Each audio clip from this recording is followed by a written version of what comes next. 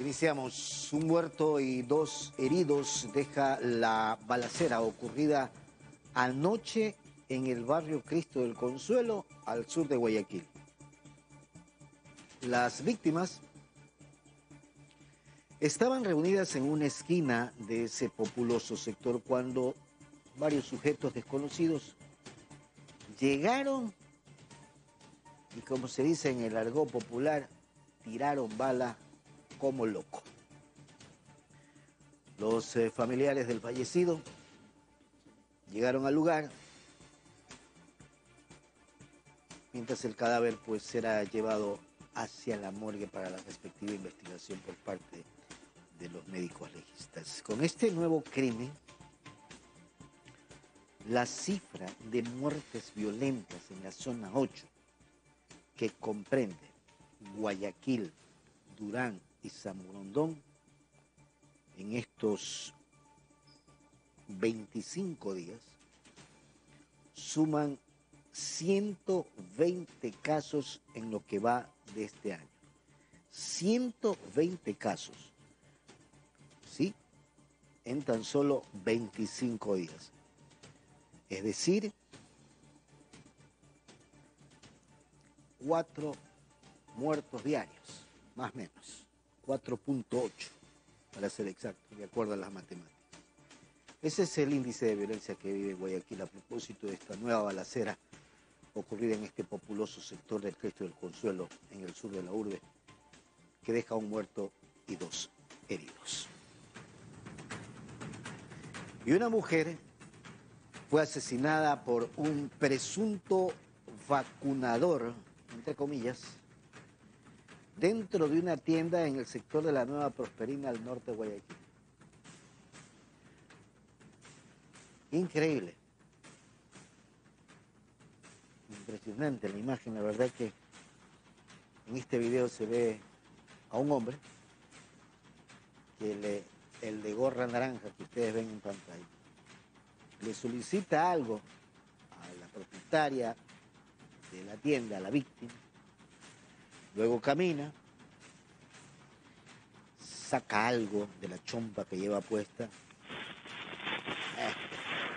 una, una armita, un arma, se dirige a la señora y vea hasta ahí esta pobre señora que se, gana la se ganaba la vida con esta tienda en ese sector de la Nueva Prosperina,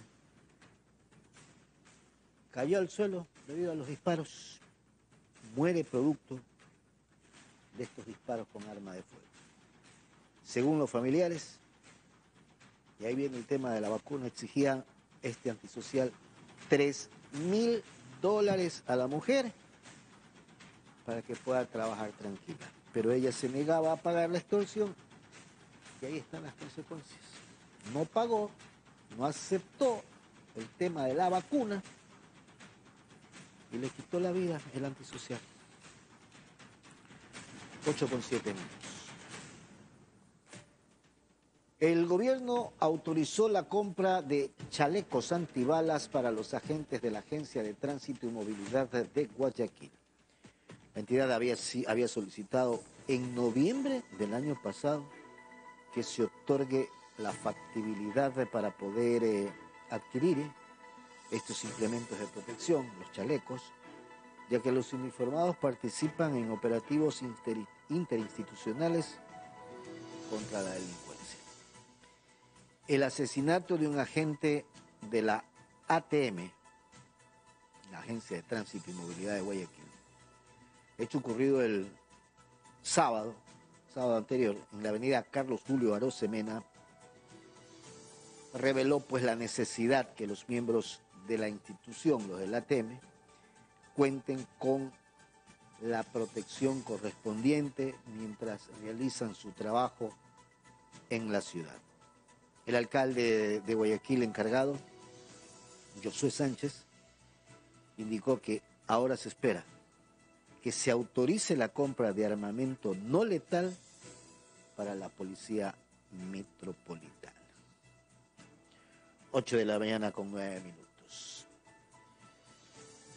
Y una mujer fue asaltada cuando caminaba por la ciudadela Simón Bolívar en el norte de Guayaquil.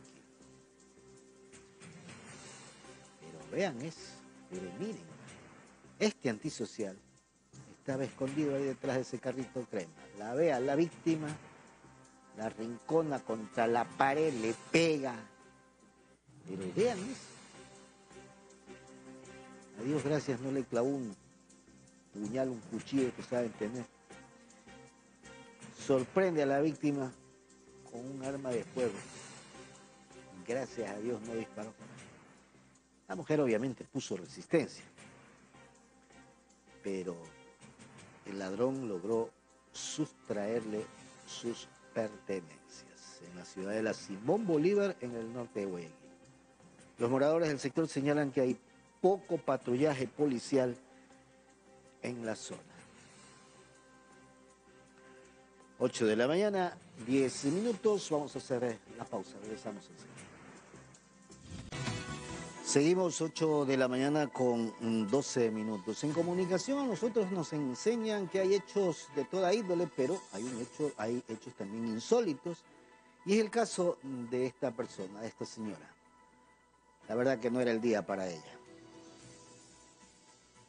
Eh, a Dios gracias. Se salvó de milagro de ser atropellada por este carro. Esa señora quedó sorprendida, anonadada. Se para en la esquina, obviamente iba a cruzar la calle. Y ese vehículo, no sé qué le pasó a ese chofer. La va prácticamente rozando. Y el carro se estrella contra un negocio de ese sector ahí en el suburbio de Guayaquil. Esa señora volvió a nacer, volvió a vivir. ¿Sí? Miren ustedes, pero es un milagro de Dios. Obviamente el conductor vea, aquí no es patitas para qué te tengo, llantas para qué te tengo. Huyó del lugar. Sabrá Dios si en estas eh, imágenes se puede captar, aunque sea la placa del carro.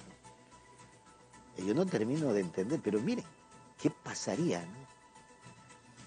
Porque en estado etílico no hace esa maniobra. En estado etílico hace otra cosa. Pero Dios es grande. Es un milagro realmente para esta señora que se salvó de ser atropellada por este vehículo. Vean. Impresionante. Bueno. 8 con 14 minutos. Y más de 2.000 vehículos de la transportación pública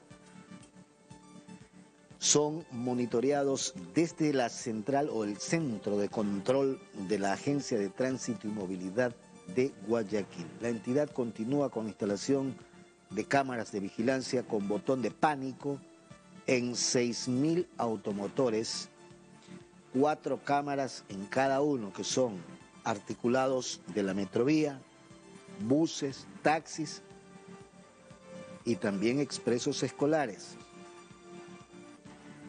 De lo que conocemos son como 24.000 cámaras que esperan instalar. En esta ocasión han instalado eh, el botón de pánico también en 6.000 automóviles. A la fecha se encuentran instalados los dispositivos en 2.078 unidades. Esto incluye 985 transportes escolares, 1.000 taxis, 63 buses urbanos y 30 unidades de la Metrovía. Con esas cámaras se monitorea desde el centro de control de la Agencia de Tránsito y Movilidad de Guayaquil. Cámaras que monitorean sobre todo vías principales y además monitorean placas de carros, infracciones y como ustedes pueden ver pasos peatonales que antes se encontraban en mal estado son monitoreados permanentemente para verificar el correcto funcionamiento de los pasos a peatones. Tiene cuatro cámaras en cada unidad, lo cual permite ver el exterior, el interior del vehículo, la ubicación georreferenciada y tendrán botones de pánico tanto para el chofer como para el pasajero para que pueda alertar en caso de eh, alguna novedad.